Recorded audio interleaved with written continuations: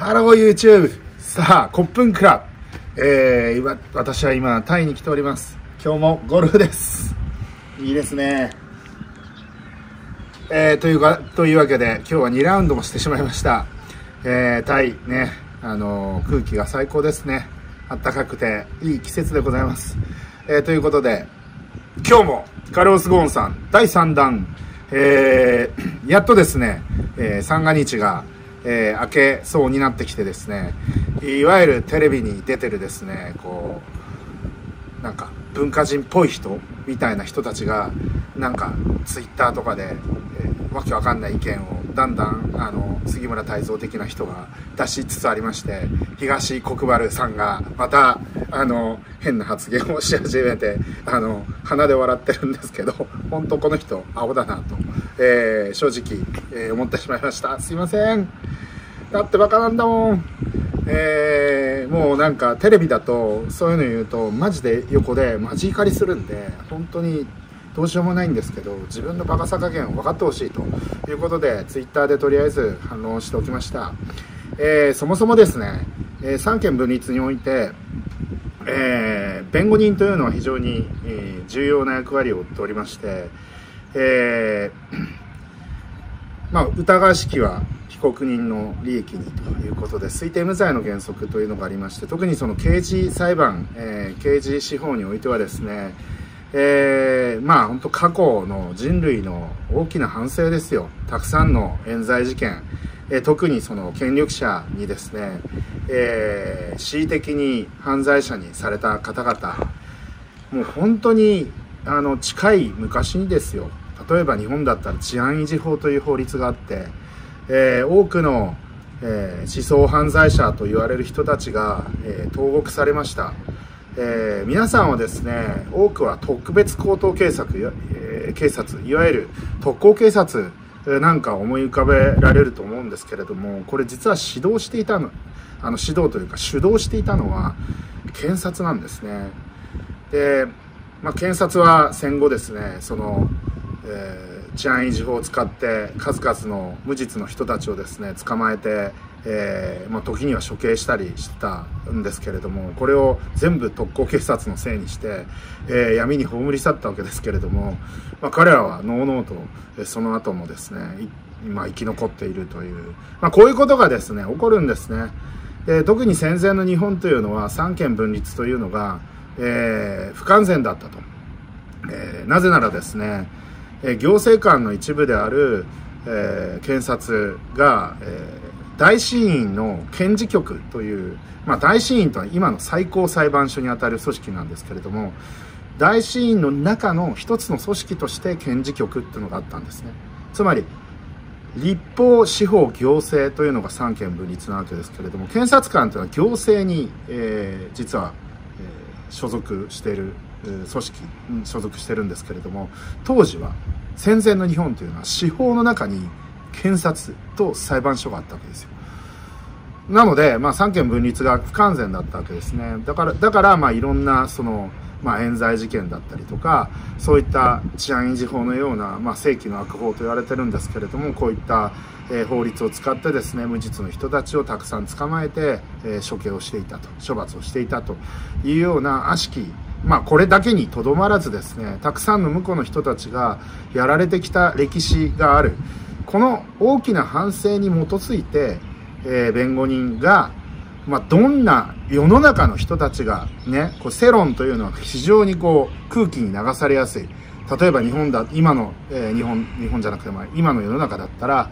えー例えばネットの世論だったりとかテレビなんかマスコミなんか主導する世論で正規の極悪人だって言われてる人たちだって無罪である可能性っていうのは、まあ、少なからずあるわけですね。でそういう人たちをですね空気によってあのこいつは正規の極悪人だからあの許すマジ許すまじきであるっていうふうに言うと誰も味方ってなくなりますよねそうするとその冤罪が起きやすいんですね。で要は本当の悪事を働いた人たちが処罰されるのはそれはもう当然のことだと思うししょうがないことだと思いますが仮にあなたが無罪何も悪いことしてないのに処罰されたり処刑されたりしたら嫌でしょ？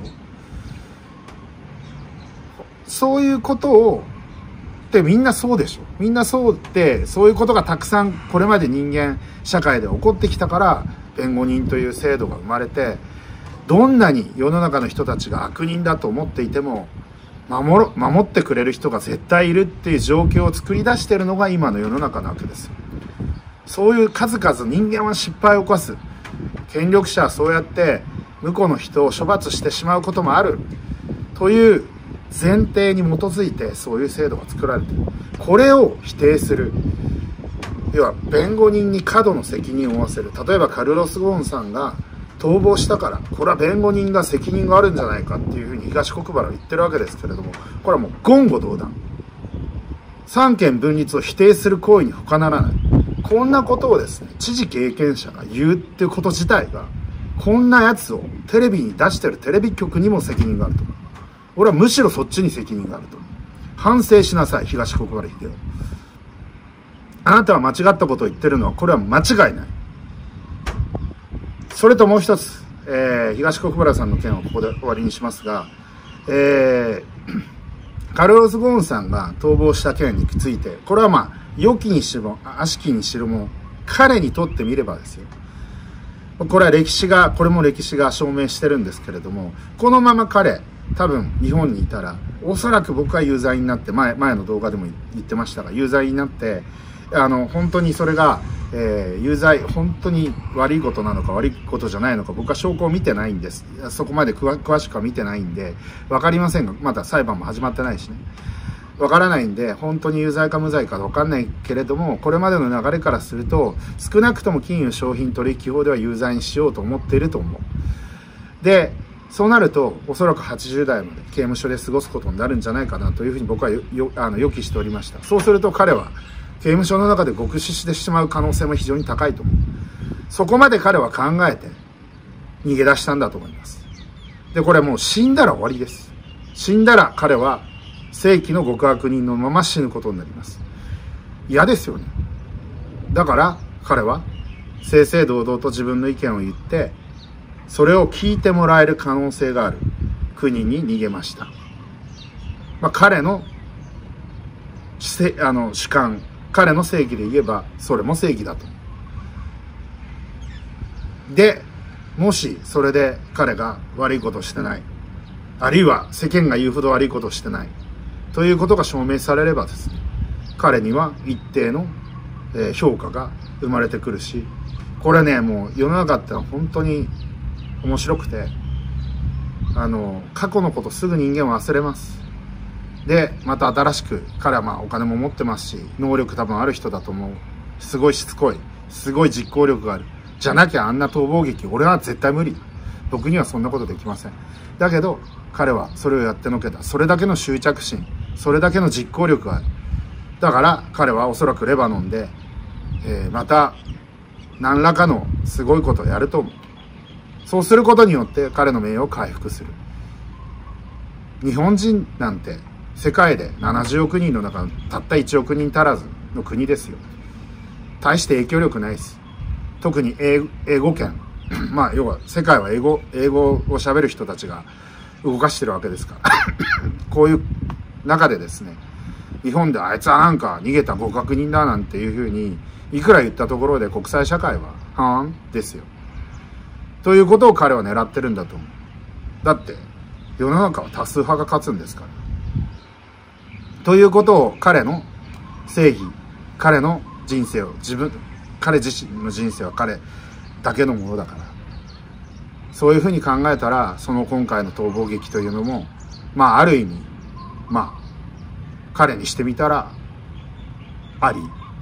な行為なんだろうなというふうに思います。ということで、え今回ちょっと長くなってしまいましたが、えー、タイのバンコクからお送りいたしました。いってらっしゃいあとですね、えー、ゴーン被告が あの楽器ケースの中に入って、えー、プライベートジェットに乗ったんじゃないか説なんですけれども、えー、私がプライベートジェットに乗った経験から言うとやはりですね前の動画でも言いましたが普通の荷物は X 線検査を通るんですけど大型の例えばゴルフバッグとかそういうのは X 線 X 線検査を通してないと思うんですよね。あの大型のラゲッジの場合普通の入国出国管理の時の荷物検査はですね、えー、オーバーサイズラゲッジっていうところのでっかいあの X 線検査装置を通すんですけどプライベート機用のターミナルにはその大きな設備がないこともあるんで、えー、多分通してなくて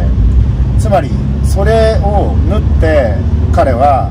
えー、プライベート機にそのまま荷物室にその楽器ケースごと入れられてもしかしたら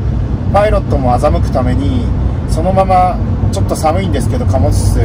貨物室にそのまま乗って、えー、なんかあったかいダウンかなんか着て、えー、もしかしたらおむつとかもはめて、えー、おしっことかも我慢してトルコまで行った可能性もありますねということで。いってらっしゃい。No, no, no